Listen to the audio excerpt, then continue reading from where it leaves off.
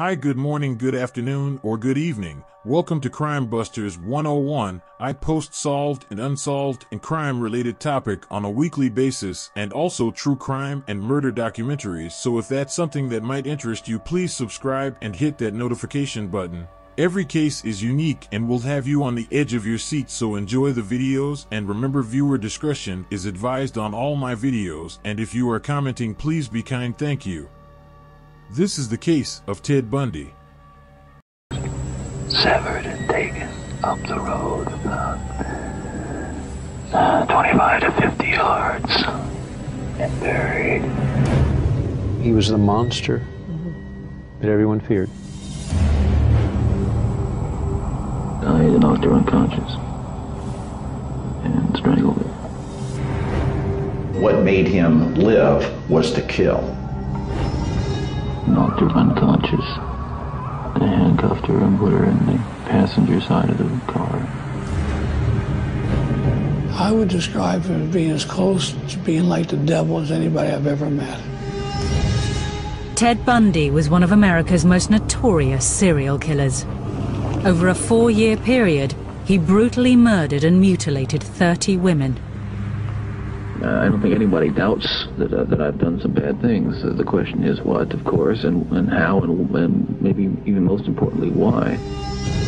His motives remained a mystery until hours before his execution when he claimed a fatal addiction had fueled his horrific crimes.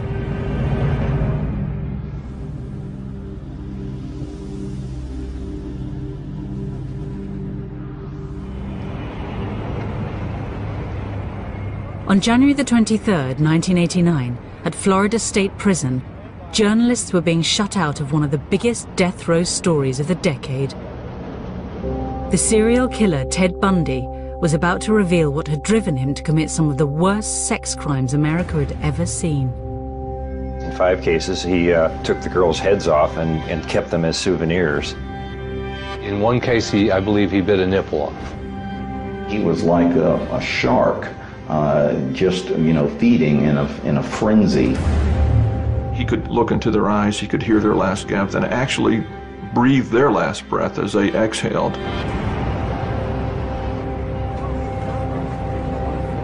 As journalists competed to get Bundy's final interview, he surprised everybody by agreeing to talk to one man only Dr. James Dobson, a Christian evangelist who flew in especially for the interview.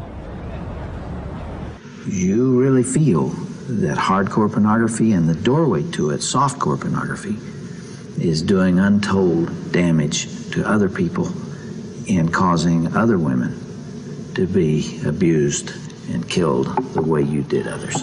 Listen, I'm no social scientist, and I haven't done a survey. I mean, I, I don't pretend that I know what John Q. Citizen thinks about this. but I've lived in prison for a long time now. And I've met a lot of men who were motivated to commit violence just like me. And without exception, every one of them was deeply involved in pornography without question, without exception, deeply influenced and consumed by an addiction to pornography. As Dobson saw it, this interview contained a powerful message, one that was central to the Christian evangelical movement, and which fanned the flames of the debate about the role of hardcore pornography in violent sexual crimes. The interview was given to every broadcaster in America on one condition that they play it unedited from start to finish. But had porn really been responsible for turning a seemingly all American boy into a monster? He told Dobson what he wanted to hear that it was hardcore pornography, violent, hardcore pornography that led him astray. And that's something that I will not allow my industry to take the blame for. I knew what he said was true.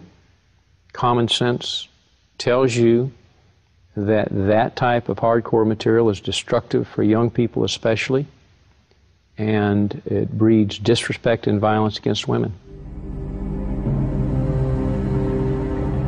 The interview started a debate that led all the way to the White House and an investigation into what drove Bundy that would open a chamber of horrors. He wanted to possess them as if he would possess a Porsche or a potted plant. he was basically reconstructing who they physically were.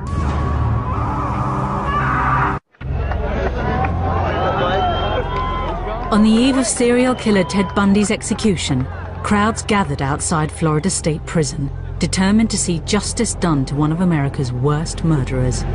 To comprehend all this, you have to go back a few years to try to understand Ted Bundy, what he did, and who he was.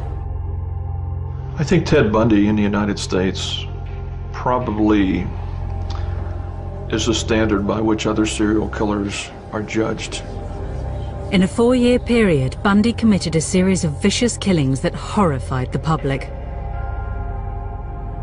Beginning with Lynda Ann Healy in January of 1974, Bundy began killing approximately one girl a month. In fact, later on, the police would produce what they called the Girl of the Month Club as they traced the, the girls who disappeared and then were later found dead. When police finally arrested Bundy, America was shocked. He appeared to have it all. He was good looking, articulate, a law student and a budding Republican. But he also had a fatal addiction to pornography. Once you become addicted to it, and I look at this as a kind of addiction, uh, like other kinds of addiction, of addiction, you keep, I would keep looking for more potent, more explicit, more graphic kinds of material. Like an addiction, you keep craving something which is harder, harder, something which which gives you a greater uh, sense of, of, of excitement. But had this addiction made him a killer?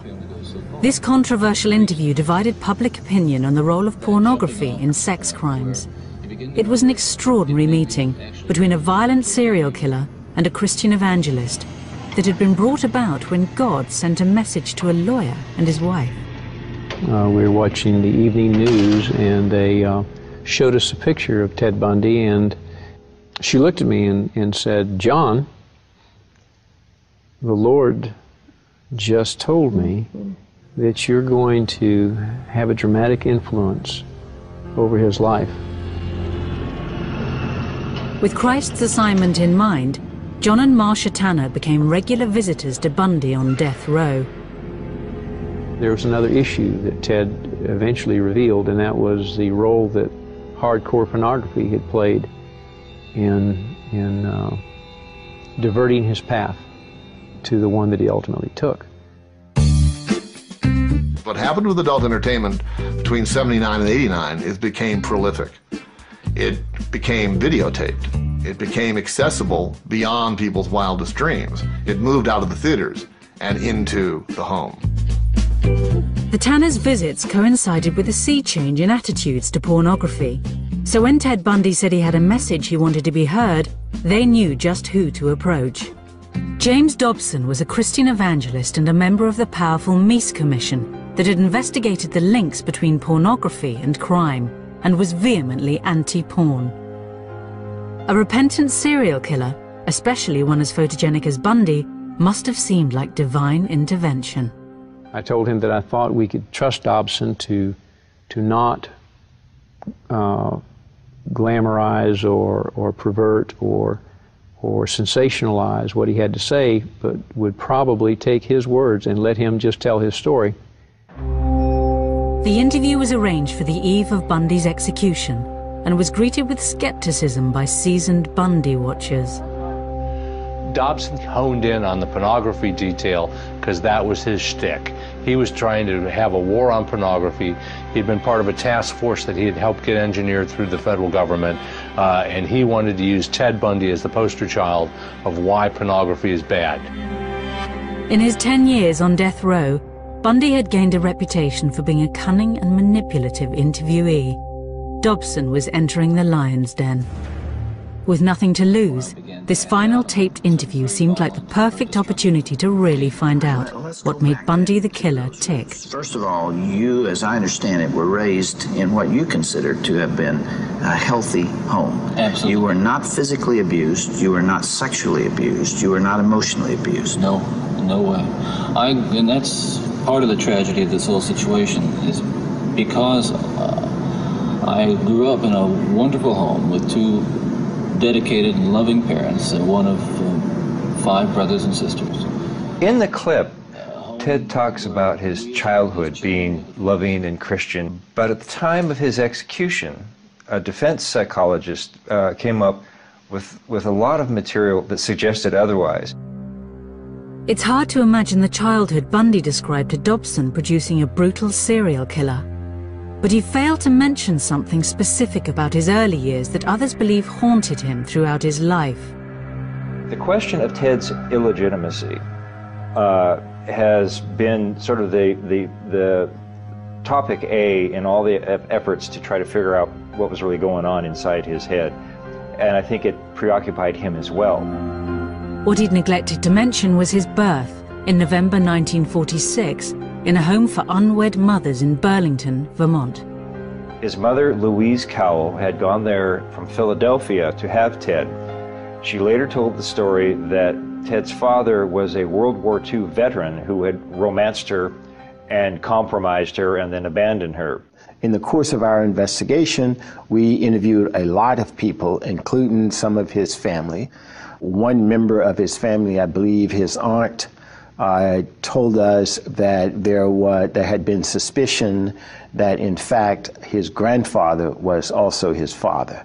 Uh, but uh, you know we were we were not able to uh, prove that that was uh, the case. To avoid the shame and stigma of illegitimacy, Bundy's mother passed him off as her baby brother. Later, she moved to Tacoma, Washington, where she met and married Ted's stepfather. How nuts would you be if you were pretending to be a, a brother when you know it's your mother? He told me that he discovered it by going through his parents' papers and that it came, he said it came as a bit of a, a revelation to him. Now, I spoke with a boy that was a very close friend of Ted's, uh, and I asked him did, if he had ever discussed the illegitimacy question with, with him, and he said yes. And the sense this fellow had was that Ted was deeply angry about it, that he was very hurt by it and he was upset by it, and when he tried to sort of say, well, Ted, you know, Johnny loves you, you don't worry about this sort of thing. And he said, Ted's answer was, you're not the one who's illegitimate. The young Bundy also appeared to be acutely conscious of his family's lack of money. I remember him talking to me about how he was so mortified that his family drove uh, these sensible, ugly ramblers, uh, the model of automobile, and that his family didn't have a lot of money, and he and how he was jealous and resentful of kids in school who had more things than he did. And it's a, it's a very early sign that Ted has this sort of narcissistic fixation on things and, and on possessions. And of course, possessions becomes a very key word later on in his life. As Bundy was growing up in the 50s, America was discovering sex. Back then, Hugh Hefner had just published Playboy, which, though tame by today's standards, provoked moral outrage. In this climate, Bundy claimed to Dobson he made a discovery that was at the very root of his motivation to kill. As young boys do, we explored the the back roads and sideways and byways of our neighborhood, and oftentimes people would dump the garbage and whatever they were cleaning out of their house. And from time to time, we'd come across uh, pornographic books of a harder nature than uh, more uh, graphic, you might say, more explicit nature than we would encounter, let's say, in your local grocery store. And this also included such things as, let's say, detective magazines and uh, more those that involve violence. Yes. Ted tells uh, Reverend Dobson that when he was a young boy that he found pornography, as he called it, outside the house um, things he saw in grocery stores and things he found rummaging through people's garbage, which he said was a little bit more uh, hardcore than what he was, was available in the grocery stores. Well, I grew up in exactly the same town as Ted and went into the same kinds of grocery stores that he went into, and there wasn't anything like that on the store's shelves in those days. Playboy had barely been invented. You know, at the time, I thought he was talking about, well, the, the magazine du jour, Playboy, and some others, but uh, he told me the ones that, that he found most interesting and compelling were the detective magazines. With their lurid depictions of women in peril, it was violence, not sex, that became the real moral panic of the 50s. The EC comics were extremely graphic to a point that there was always some form of female terrorization. Erotic terror, I guess is what you would call it. It unlocked the zipper of an awful lot of minds of children and eventually teenagers until they were banned. Those magazines typically had bondage as the theme of their of their covers. It would be a woman with a hand, with handcuffs, or, she'd be gagged, or something like that, and she would be threatened, uh, on you know, mortally threatened on the cover of this magazine, perhaps with some some weapon or something. Bullets ripping through people, limbs being hacked off, blood splattering, but constant terror in the look of these beautiful women in lingerie. I'm willing to bet that they started to ignite what became a forest fire in Bundy's psyche. This, Ted Bundy told me, was the real pornography that motivated him. It was this demonic, as he classified it, demonic presence of a, a, a chemistry of sex and euphoria and control and murder. For Bundy, this was a cocktail with a lethal effect. It fueled your fantasies, didn't it? Well, in, in the beginning, it fuels this kind of thought process. Then, it, it, at a certain time, it's instrumental in what I would say crystallizing it, make it making it into something which is almost in, like a separate entity inside. When Ted talks on the tape about the entity inside him and, and how uh, his, his word is pornography fueled this entity, he certainly never in our conversation said that what the entity was was was uh, interested in was fueled by pornography. He said, I used the word entity in talking to people because I felt that that's what they wanted to hear, that they could accept that, that they would have extreme difficulty in me just saying, I decided to kill three weeks from now, and I've psychologically put it on my calendar, and it was going to happen. Um, he thought that people had difficulty in comprehending that, so he said I used the word entity or ulterior forces or something like that. It's not uncommon for other serial killers to do that. I've, I've had the opportunity to interview many. The key issue here is that Ted was on this course to behave the way he behaved with or without pornography. Gradually, Bundy started turning his fantasies into a disturbing reality. One night, he gets drunk and he's had quite a bit to drink, and he's walking down a street and he sees a woman walk out of a bar. And not even thinking, he follows her. And he follows her to her house, and as she's trying to get in the door, he runs up behind her and she screams and he runs away. Again, he's out one night prowling around. Again, he's had something to drink. Again, he sees a woman. This time he grabs a stick and comes up behind her and hits her on the head. And then, again, shocked at what he's done, runs away. He gets into peeping, which is one way of, of getting what he wants, working on, you know, building his fantasies. Peeping in the window, masturbating, peeping in the window, masturbating, and then one day he just jumped over the line and went nuts. On January the 4th, 1974, Bundy crossed the line. 18-year-old Joni Lenz was attacked in her bed. She was found barely breathing, covered in blood, and with a metal bed frame rammed into her vagina. Incredibly, she survived. Others would not be so lucky. By July 1974, the whereabouts of six missing girls around the Northwest remained a mystery. Bundy had become a calculating killer. Each time I'd harm someone, each time I'd kill someone, there'd be an enormous amount, uh, uh, especially at first, uh, enormous amount of, of, of, horror, guilt, remorse afterwards. But then that impulse to do it again would come back even stronger. Now, believe me, I didn't. It, it, the unique thing about how this worked, Dr. Dobson, is that I still felt in my regular life the full range of, of guilt and, and uh, remorse about other things. uh, regret. And uh, but you had this compartmentalized, this compartmentalized, very well focused, uh, um, uh, very sharply focused area where I, it was like a black hole. It was like a, you know, like a crack, and everything that fell into that crack just disappeared.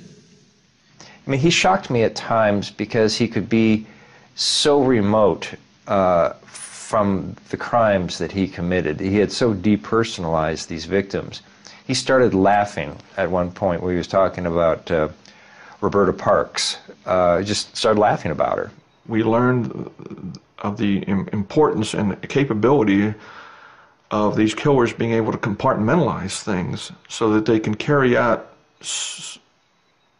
normal lives otherwise, where they're not going to be suspicious. And when anybody finds out that they are a suspect, they're totally shocked that they've got this capability to do that. Ted did not have any guilt. He did not have any uh, remorse. He did not have a conscience. And so when he talks about being, you know, 99% normal and 1% abnormal, it's, it's I mean, it's, it's, it's an ugly joke. He was 100% abnormal. Bundy's seemingly normal life continued. Whilst abducting and murdering young women, he was able to hold down an apparently normal relationship with Liz, a young divorcee. She later testified, though, to an increasingly strange and violent sex life. Liz reported a lot of, uh, you know, unusual behavior. Ted examining her body with a with a flashlight at one point. Um, him wanting to tie her up. Uh, she, I think, she found some pantyhose in his, you know, among his, his clothes at one point. Uh, she once found a, a, a big uh, bag or, or box of, of, keys to all sorts. Of, she had no idea where all these keys were from, but they probably came from Ted's nocturnal uh, wanderings. She would remember later on him telling her that he had thought about killing her at one point. Um, she would remember to the police that he tied her up on a couple of occasions, so they had bondage sex.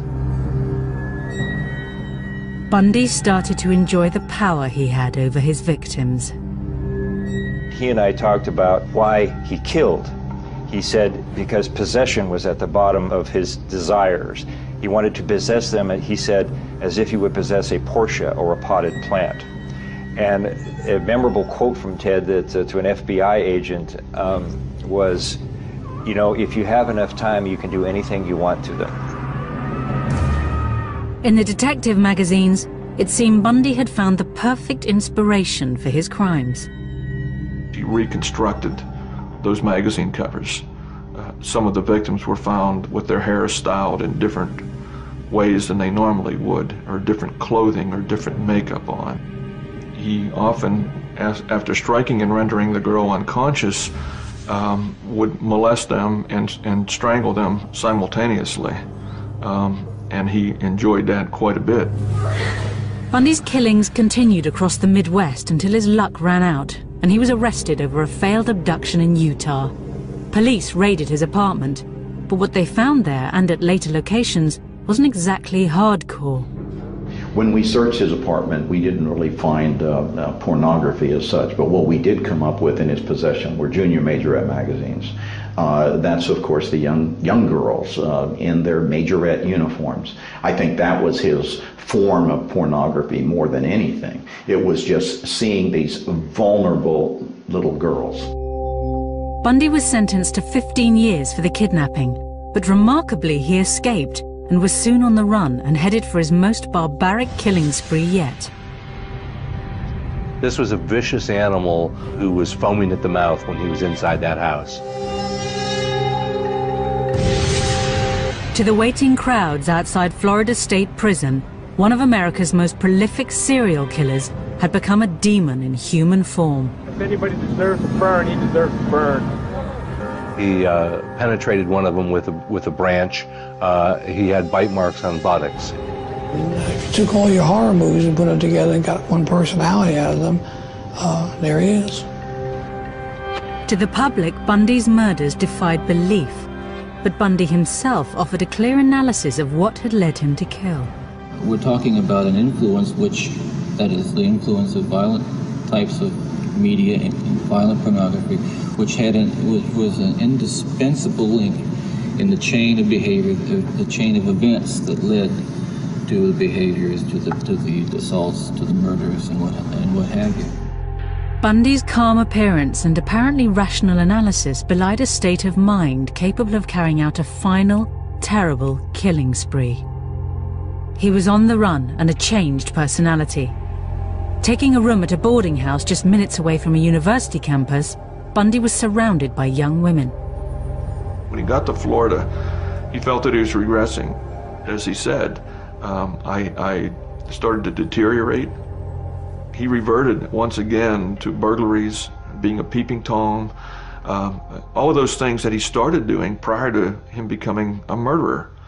And then he recognized full well that he had gone into what he called his barbaric state.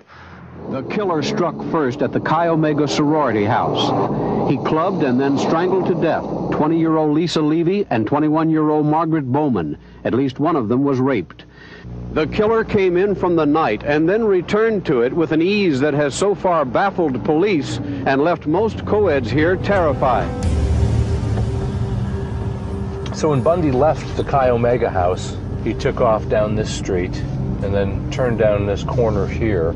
He traveled maybe three blocks. And I imagine he was pretty much in a frenzy.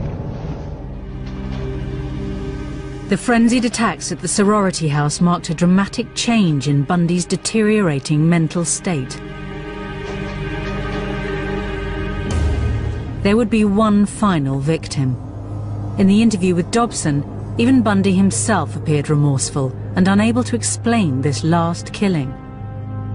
One of the, the final uh, murders that you committed, of course, uh, was apparently little Kimberly Leach, 12 years of age.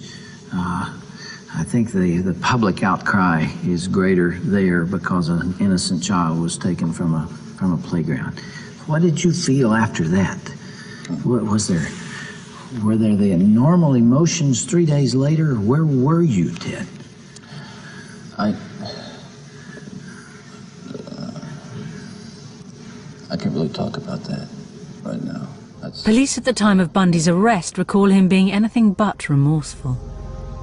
When we showed him the picture of Kimberly Leach, the 11 year old girl that he uh, tragically took the life of, uh, he threw the picture down and said, What you don't understand is I am the cold blooded son of a bitch you'll ever meet. He was trying to show us that it didn't bother him. The manhunt to find the killer ended when Bundy was arrested in a small town on the Florida coast.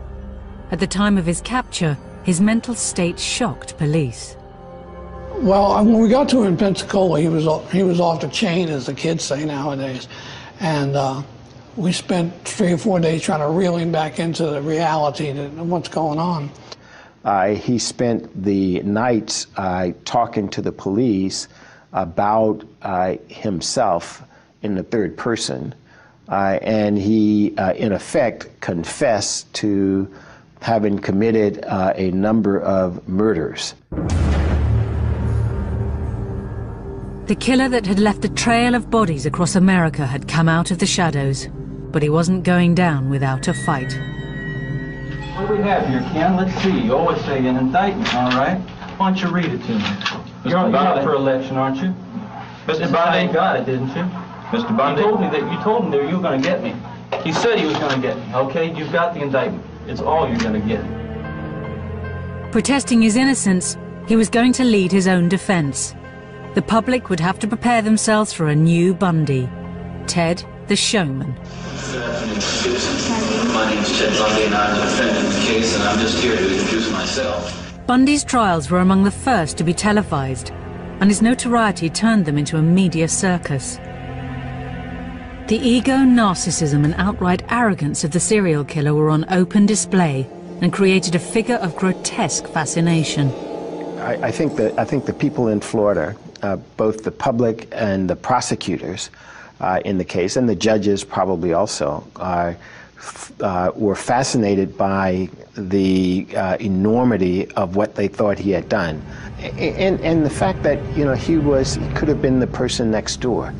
Uh, somebody described him as, uh, you know, kind of uh, a lot of uh, common people's uh, ideal of kind of person they would like their daughter to marry. Uh, and so I think that there's something frightening about the prospect that, you know, this all American looking guy could be a serial killer. Bundy became a cult figure. Women flocked to his trial.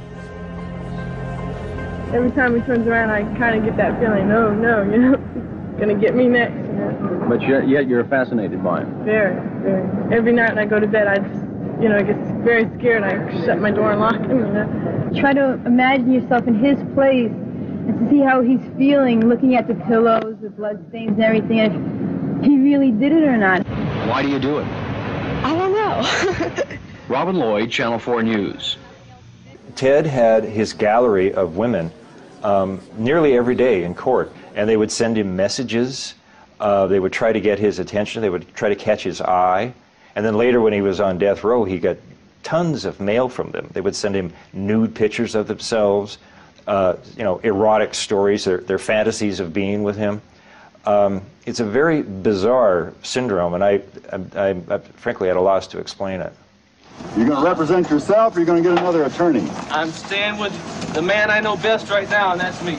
Um, his ego led him to believe that there wasn't a brighter attorney out there, even though he had never finished law school. The extraordinary part about the Bundy trial was the extent of his participation in it. Bundy appeared every inch the lawyer, cross examining witnesses, analysing blood samples, even questioning forensic evidence of bite marks taken from a victim's bottom. Our contention all along, Your Honor, has been that they have taken my teeth and twisted them every which way but loose to fit. He swaggered across the courtroom and he does all the gestures, puts his hands down, and I mean, he watched enough courtroom and enough Perry Mason on television that he absolutely looked and sounded the part of a lawyer. And it was just amazing to believe that this was the guy that was accused of all these brutal crimes. Good morning, officer. Just as he had separated his murders from his everyday life, in court, Bundy separated the serial killer from the lawyer, though the jurors felt differently. Um, he was apparently thinking he was coming across as a lawyer, and they were seeing him in a much different light. He never really uh, appreciated the the weight of the of the accusations that he carried with him, and the effect that that had on ordinary people. The first victim you saw was Kathy. Bundy appeared to relish the role of lawyer. At one stage, launching into such an excruciatingly detailed cross examination that he appeared to be reliving the crime. One after another, his trials were descending into chaos. It went day and night on his whim. He got to the point of auditioning some of the lawyers for who would make the opening statement, who would cross examine certain witnesses, who would make the closing argument. To lawyers trying to conduct a, an overall strategy of a trial, this was impossible to deal with. You couldn't have a theory of defense when the client was constantly pulling the rug out from under you. In a final act of farce, Bundy used a legal quirk of Florida law, the fact that his girlfriend was under oath, to conduct a brief but legal marriage ceremony. Do you want to marry me? And I want marry you. And I do want to marry you. Here again is the difference in Ted as a defendant who doesn't see the significance of what he's doing to the jury, and Ted, the supposed lawyer in the case. I guess to Ted, it, it felt or made it seem that he was humanizing himself, but it looked like a trick. To me, it looked like a trick. Maybe he didn't care how it would look to a jury.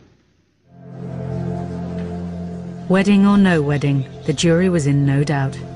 Therefore, it is the sentence of this court as to count one of the indictment that you, Theodore Robert Bundy, be adjudicated guilty of murder in, fir- in the first degree, and that you be sentenced to death for the murder of Kimberly Diane Leach.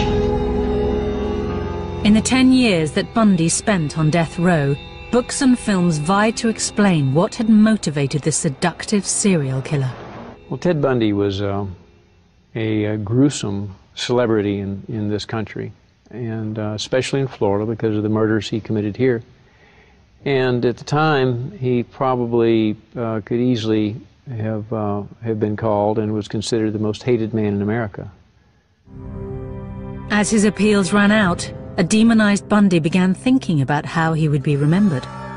You know, I make no bones about it. I am looking for an opportunity to tell the story as best I can in a way that makes sense to me and the way that'll help not just you or the families, but that's very important, but also to help my own family. You see, I saw the look in my stepson's eyes yesterday, and to see the look in his eyes uh, confirmed my worst fears. See, he says, "Could you?" He, he was he was just absolutely astounded. He couldn't understand. He was writing me questions, just furiously writing questions. I could see that you know that he was, you know, how really bewildered he was, and I need to give him a chance to know, and others a chance to know what was really going on, what it was really like for me. He wanted to create a legacy for himself that was something other than murder. Uh, he wanted people to see that there was another side of him uh, and that this other Ted uh, had done things that were socially valuable uh, and that were redemptive in some way. The interview with James Dobson gave Bundy a unique opportunity to offer himself up as a stark warning to society, framing his crimes against the backdrop of a young boy fatally corrupted by pornography. Those of us who are, who have been so much influenced by violence in the media, in particular pornographic violence, are not some kinds of inherent monsters. We are your sons and we are your husbands. And we grew up in regular families. And pornography can reach out and snatch a kid out of any house today. He snatched me out of my. It snatched me out of my home 20, 30 years ago. Towards the end of the interview, Ted sort of begins to catch on to what Dobson wants him to say, and you, you notice that he, he issues these dark warnings about all the other you know, the, the other minds out there that are being you know polluted by what they see on cable TV and and what he's arguing is is that the the individual responsibility you know to, to be a citizen to not be sociopathic to actually be empathetic and have and have a, a conscience um, is is can be undermined by dirty pictures and it simply is not true well, I believe Bundy was used as a weapon by the right-wing, uh, conservative, lib- very religioso, uh, might even call him religious mafia, who decided to use him because he perpetrated sex crimes. And the minute the word sex rears its empty head, you can blame it all on the adult entertainment industry. So Bundy becomes their banner. He becomes their bloody flag to wave into the face of all these people who, because they're watching adult material, might become future Bundys. What a crock of shit porn as a, a source of inspiration and or pushing these guys along, as, as, as Ted tried to say, is you, you have to be very careful about that because one man's pornography is another man's bore.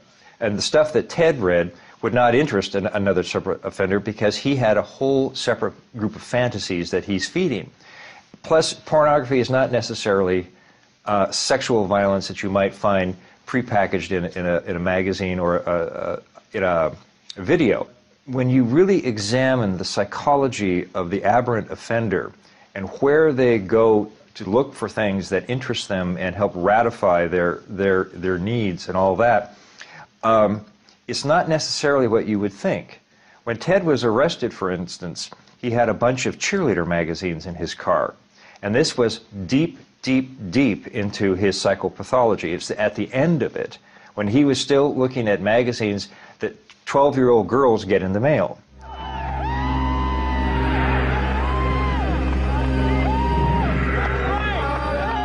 Guilty and awaiting execution, the true scale of Bundy's atrocities became apparent. He was confessing to a murder on a tape recorder as he walked down the hall to the electric chair.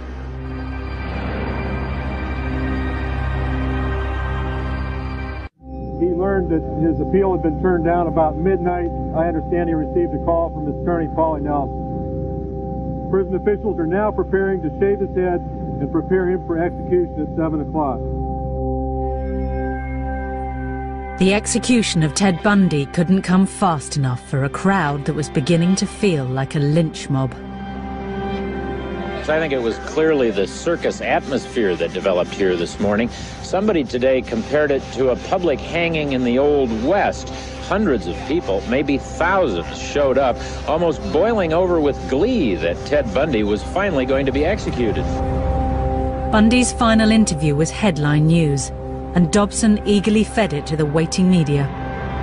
Uh, he wanted to make a statement to the world about uh, pornography, both softcore pornography and hardcore pornography. There was a great deal of remorse. Uh, he wept several times while uh, talking to me. He did say to Bundy's life had ended with an extraordinary meeting of two separate agendas, and it was impossible to tell who was using who. That last night, uh, before he died, uh, we shared communion he ministered the communion. The communion elements were a flat Coke and a piece of stale bread. And uh, it was the most uh, significant communion service I've ever attended. I learned through God's love that I could love the unlovable.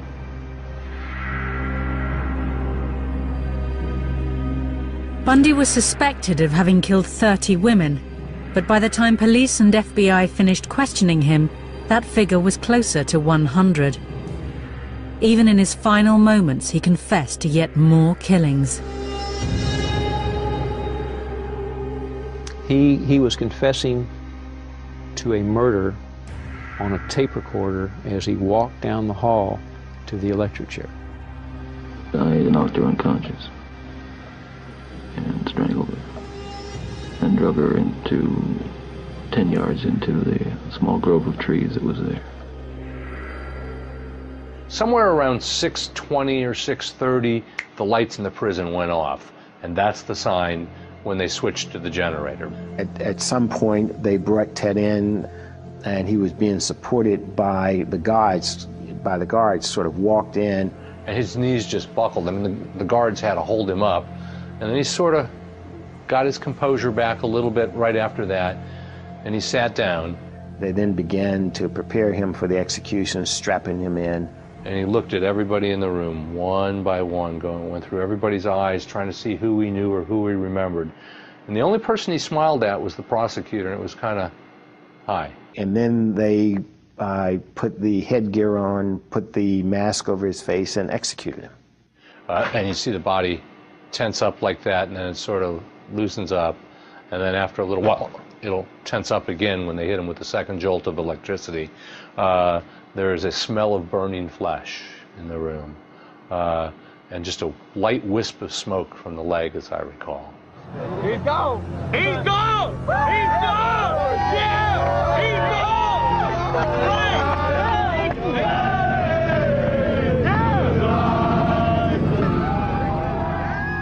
Bundy the monster was gone. Florida had waited 10 years for its revenge. In the days after his death, one question went to the heart of Bundy's killings. Ted, what would your life have been like without that influence?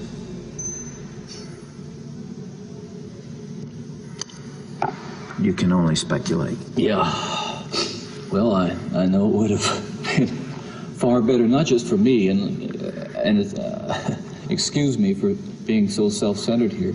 It would have been a lot better for me and lots of other people. I know that. Lots of other innocent people, victims and families. It would have been a lot better. There's no question, but it, it would have been a, a, a fuller life. Uh, certainly uh, a life that would not have involved, I'm absolutely certain, would not have involved this kind of violence that I have been, that I have committed. He starts out by saying, pornography didn't make me do it. But by the end of the interview, he's, he's basically agreeing with Dobson. Dobson is kind of prompting him all the way through it. I mean, Ted is fairly honest early on. He says, you know, I, you know, I'm not going to, you know, I, it's my responsibility. You know, I, I, I take full responsibility for everything that I've done, and you know, pornography was part of it, but it didn't make me do it. But by the end of the interview, um, there there's sort of a cheering section for the anti-pornography forces, and and with that, you know, that, you know, that if it, if it weren't, in fact, Ted does specifically say that if pornography had not come into his life, he would not have become a killer at the, at the end of the interview. And that simply is not true. And, and, it, and Ted knows or knew that that was not true, but he was willing to say it to, uh, to please the Rev. The interview uh, should have been an alarm bell for the country. Uh, it should have been a, uh, a wake up call for parents. Uh, it certainly motivated me. I launched into a vigorous anti pornography campaign as the state attorney and uh, lost my next election because of it. I think Ted had a lot of things going on in that interview. He wanted somehow to look a little bit better in everybody's eyes. He was probably talking to his mom. He was probably, you know, he was, he was so careful saying, you know, you know, my, my, my mother loved me and she protected me and all this sort of thing. It was, it was Bundy trying trying to, to put his spin on, on, on his career. I asked him about pornography a couple times, and uh, for some people it's a disease, humiliation control kind of disease. Other people it's just fun. But uh, I asked him about it, and he said, "Why would I need pornography when I have the real thing?" And then, from what he's done during some of his uh, alleged murders, he did have the real thing. I've heard some people say he obviously had some brain damage as a young child. Others will say it's an inherited bad gene. Others would say it was a psychological scars from his youth. Others would say he read pornography. Um, and I discussed these things with him, and, and his feeling was all of these factors may have entered into my life somehow without me even knowing it. However, you know, I planned the crimes. I understood what I was doing. And regardless of what label anyone might choose to pin on me, I'm responsible. Uh, I'm not proud of it. I wish it didn't happen, but it was my decision. Thank you for watching Crime Busters 101. I post solved and unsolved and crime related topic on a weekly basis, so if that's something that you are interested in, please subscribe and hit that notification button.